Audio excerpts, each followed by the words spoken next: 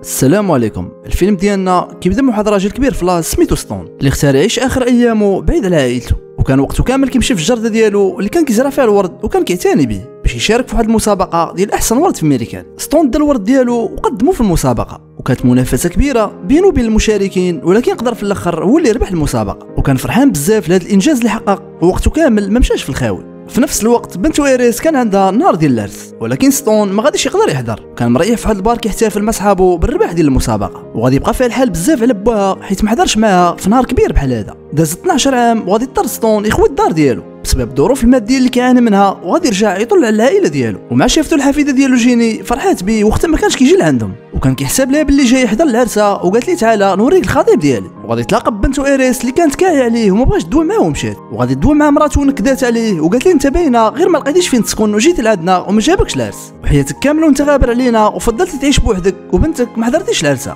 ستون قال لها انت حياتك كاملة غادي تبقاي نكديه راني كنت كنخدم 60 ساعة في السيمانه باش نوفر لكم كلشي وغادي يخليه يمشي وبقى في جيني الحال بزاف. واحد من المعارف ديال جيني اللي كان حاضر في العرس فاش شاف ستون غادي يتبعو وبقى مجمع معاه. وعرفو كان شي فول أكثر من 41 عام بلا ما ياخذ شي مخالفة ولا يدير شي حادثة. خونا قال لي أنا كنعرف ناس خاصهم شي فور دير لهم السلعه ويخلصوك بالمزيان. وغادي ياخذ العنوان ديالهم وهكذا يقدر يدبر على صريف ويعاون الحفيدة ديالو جيني. ستون مشى العنوان اللي عطاه خونا وغادي يحلوا ليه الخوت الكراج. ومع دخل عندهم غادي يبان من شكلهم عصابة ديال المجرمين. حطوا ليه الساك في الطوموبيل وعطاو التليفون. وقالوا ليه صونا لك التليفون جاوب وما تحاولش تصوني به. وفاش توصل لوطيل اللي في العنوان خلي الطوموبيله بسوارتها ورجع من بعد ساعة لنفس بلاصة وغادي تلقى طوموبيلتك والفلوس ديالك وسطها وغادي يوصيو ما يحلش الساك وهدوه باللي كيعرفوا عليه كلشي. وداك الشيء اللي غادي يطرا ستون وصل للعنوان وخلى الطوموبيله ديالو. ومن بعد ساعة رجع ولقى الفلوس. وغادي يتفاجئ حيت كانت فلوس كثيرة بالمقارنة بالمسافة اللي ضرب. من وراها ستون رجع للعرس ديال جيني. وكانت فرحانة به حيت ما تخلاش عليها. وغادي تشكروا على الفلوس اللي دفع لها في العرس. وعاونها بها من وراها مشى يريح مع مراته باش يقاد مع الخاطر. ولكن عاوتاني نكدات عليه وغادي يجمع الوقفة.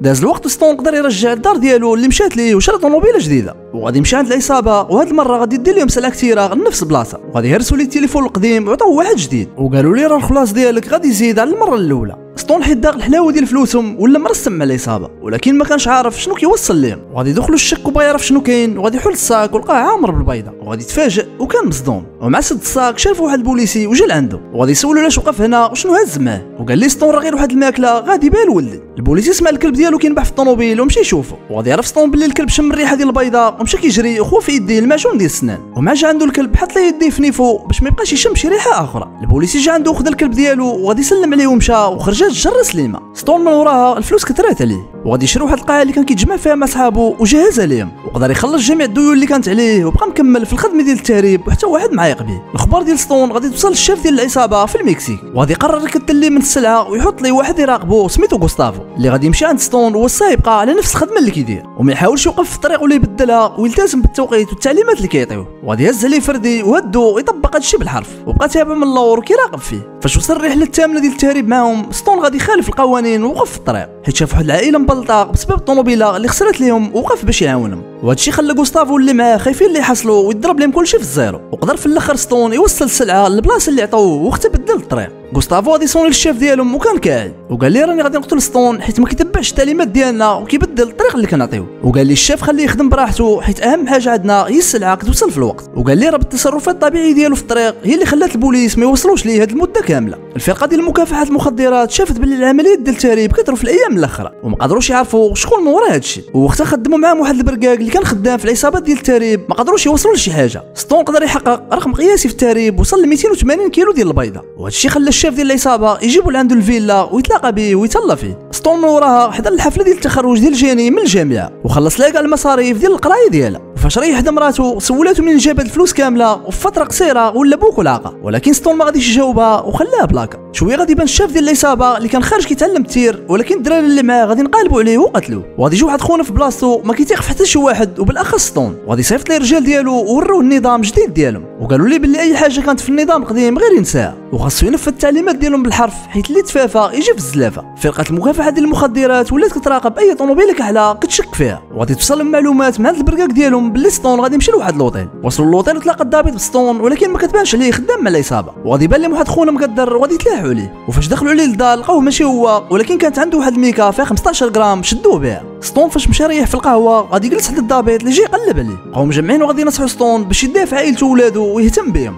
وما يديرش بحالو اللي بقى تابع غير الخدمة وفي الأخر ولا عايش غير بوحدو وغادي يخرج من القهوة ومشى وخلاه. فاش كان غادي ستون في الطريق جيني صونات عليه وقالت لي بلي مراتو ناعسة في السبيطار حيت مريضة بزاف وتزاد على الحال. وخاصو ضروري يجي لعندها دابا. وقال لها ما نقدرش نجي حيت عندي خدمة كثيرة. جيني كانت عليه وقطعت عليه التليفون في وجهه. وغادي يحس ستون بتأنيب الضمير وقرر يمشي يشوف مراتو بلا ما يعلم العصابة حيت كانت عنده الخدمة. فاش شافته مراتو قالت لي كيفاش درتي حتى جيتي وراني ما متيقاش ما عندك شي حاجة. وقال لها ماشي مهم علاش جيت لعندك؟ المهم أنا جيت. وقالت لي راني فرحانة حيت انت معايا. وغادي تسولو يقول لها من جاب هاد الفلوس بلا ما يكذب عليها. ستون غادي صارحها وقال لها راني وليت كنهرب الكوكايين وهز معايا 300 كيلو في الطوموبيل على برا. وبدات كتضحك وحساب ليها غير كيتفلى عليها. وقالت لي بلي ما كيهمناش فلوسك وأهم حاجة هي بغيناك تكون عايش معنا وما تخلاش علينا. ستون حس بتأنيب الضمير وخرج على برا. وغادي يطلب من بنته ايريس السماحه وقال لها سمحي لي على داك الشيء كامل اللي طرا وراني أب فاشل وما كنستاهلكمش. العصابه بداو كيقلبوا على ستون حيت ما وصلش لهم السلعة وبداو كيصونوا ليه وما كيجاوبهمش. وقدروا البوليس يتجسسوا على التليفون ديال واحد فيهم. وكان ستون مازال مريح في الدار حدا مراته اللي قالت ليه باللي كنت حب حياتي والألم ديال حياتي في نفس الوقت. وقال لها ستون باللي كيبغيها وقالت ليه باللي هذا أغلى يوم في حياتي وغادي تموت. فاش حضروا الجنازة ديالو سالات ستون غادي يرجع للدار ديالو وغادي يوصلوا عليه العصابة وشدوه. وقالوا لي راه وصيناك الا ما نفذتيش التعليمات ديالنا غادي تموت. وقال لهم باللي كان مريح مع مراته اللي كانت مريضة وماتت وباللي ما بقات كتهمو حتى شي حاجة وإلا بغاو يقتلوه هو مستعد. وواحد فيهم صونا للشاف ديالو وعاود ليه البلان كامل. وقال لي غير خليه يكمل العملية ومن وراها نقتلوه. البوليس قدروا يراقبوا المكالمة ووصلوا للطوموبيله ديال ستون. اللي كان وجهه كامل مدندق بالعصا فاش شدوا العصابه الضابط غادي يشدو وقال لي ستون باللي ما بقاش كيهمني شي حاجة. وأهم حاجة في حياتي هي ملي حضرت النهار الآخر ديال مراتي ستون غادي يقدموا المحاكمة وواحد المحامية بغات تدافع عليه. وقالت لهم باللي هذا الراجل كبير والعصابه استغلاته وهو ما عارف والو. ولكن ستون غادي يقاطعها وفاجئهم كاملين. وقال لهم أنا مذنب واعترف بجميع التهم اللي ضده. وغادي يحكموا عليه وقبل ما يديو للحبس توادع مع العائله ديالو. وكان باين عليه ندمان على الوقت اللي كان ضيع فاش بعد عليهم. وهكذا سالت القصة ديالنا اللي كانت قصة حقيقية. العبرة منها هي الفلوس ما كتشريش كلشي. واللي عنده راحة البال عنده كلشي في الدنيا. السلام عليكم.